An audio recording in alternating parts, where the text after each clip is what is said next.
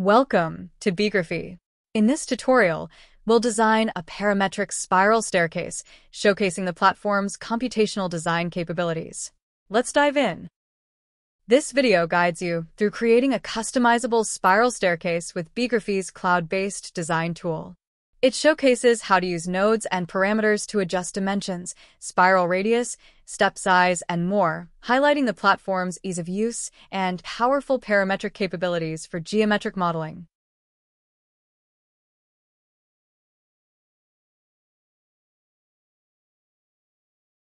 We begin by defining our parameters.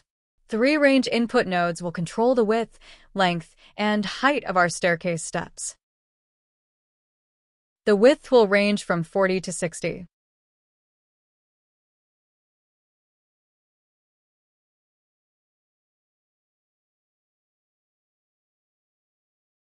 Set the length with a minimum of 5 and a maximum of 15.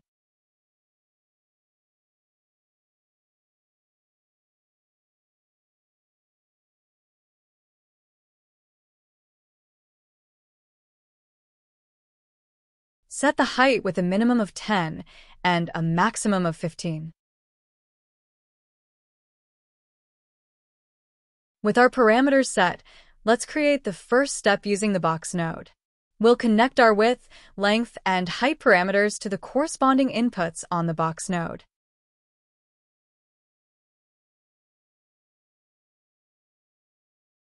Next, We'll define the origin point for our staircase using a range input node named point ranging from 10 to 15.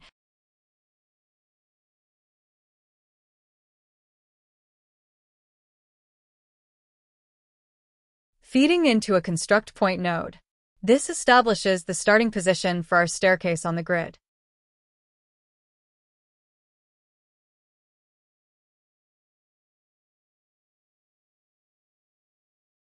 We'll use Scale NU to adjust the size of our box along the X and Y axes.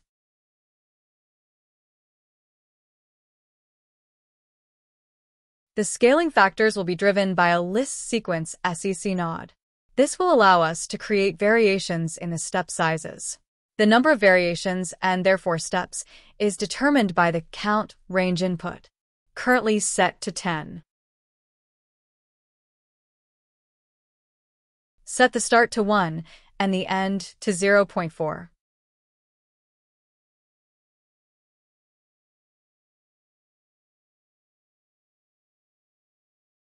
Set the starting point of scale and U to match the starting point of the box. Now let's elevate and offset our steps using the Move node.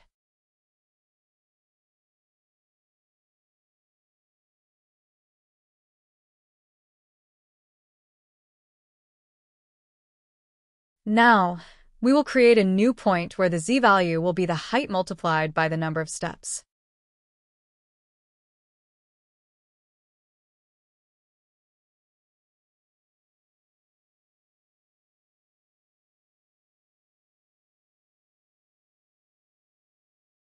The x value will be set using the range input node with a minimum of 2, a maximum of 8, and it will be named radius.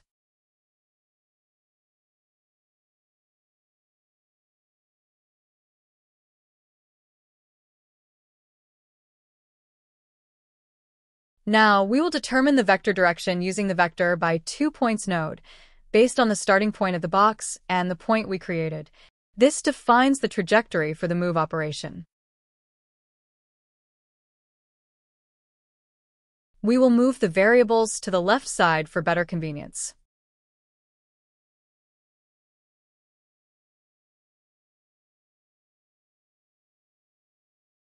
To increase the vertical offset, we amplify the vector's length using the amplitude vector node.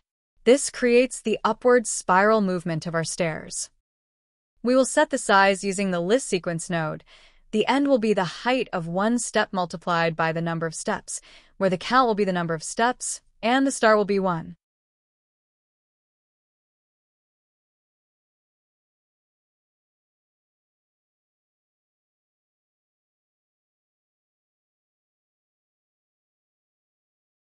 You can modify the parameters within the defined limits.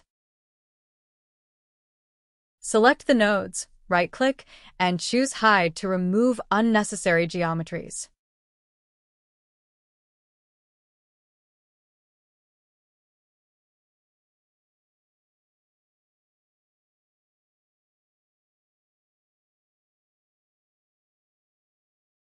Next, the Rotate node will introduce the spiral. We'll rotate the steps around the z-axis. The rotation angle for each step will be controlled by another list sequence, SEC.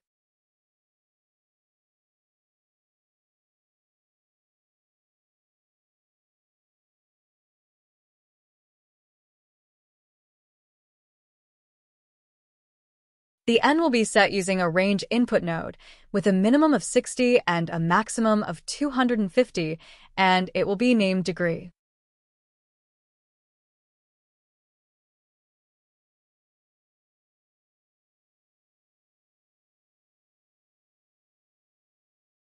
The count will be the same as the number of steps.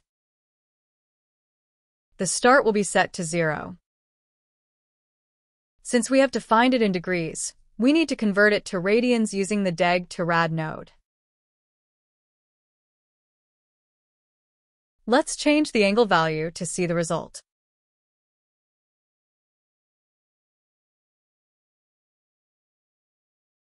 The final touch involves enhancing the visual appeal of our spiral tube by applying material properties. The Apply Material node allows us to structure a realistic appearance by setting parameters such as color, metallicity, roughness, and opacity. Let's add a central column to our staircase using the cylinder node.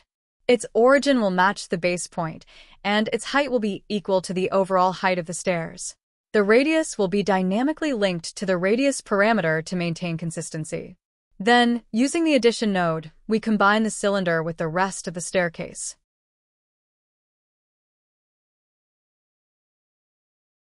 The color of the resulting image can also be changed using the Apply Material node.